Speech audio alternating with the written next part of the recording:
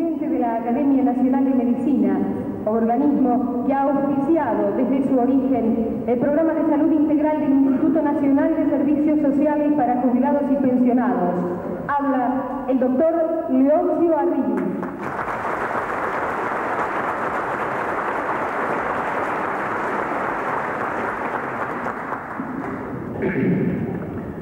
La Academia Nacional de Medicina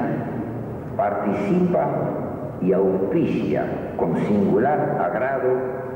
esta extraordinaria reunión convocada por la presidencia de PAMI, adivinando en ella un firme propósito de cambiar una imagen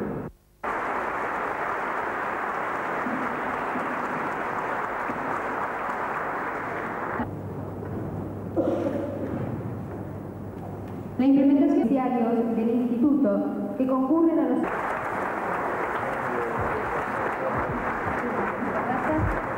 Este último convenio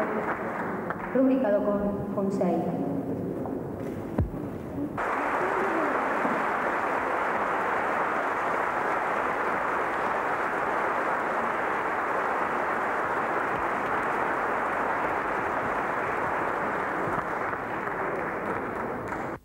Quiero agradecer realmente de todo corazón el, esfuerzo, todo el esfuerzo que han hecho el Consejo Científico Asesor de PAMI,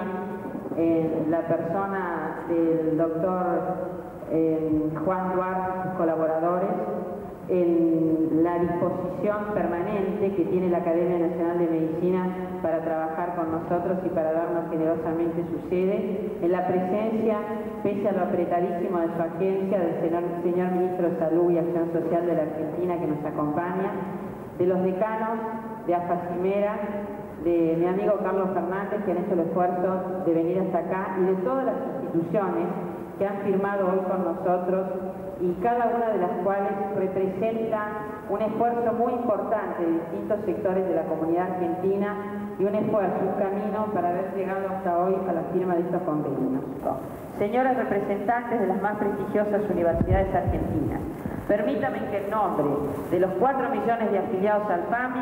cierre este acto pidiendo un sentido aplauso de reconocimiento para todos ustedes por el compromiso que acaban de asumir. Muchísimas gracias.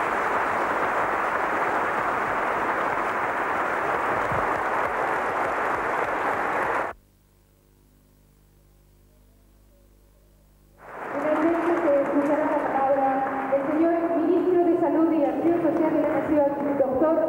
Alberto Mazzas. En este ámbito de la Academia Nacional de Medicina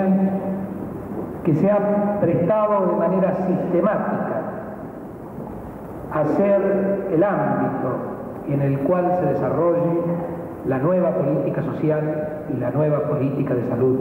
que se está llevando a cabo en esta transformación de nuestro país, dándole a esto el marco del rigor científico, de la excelencia profesional que exige el encarar la política social y de salud seriamente. A apenas nueve meses de en este mismo lugar haber expuesto las políticas nacionales de salud que el presidente Carlos Menem aprobara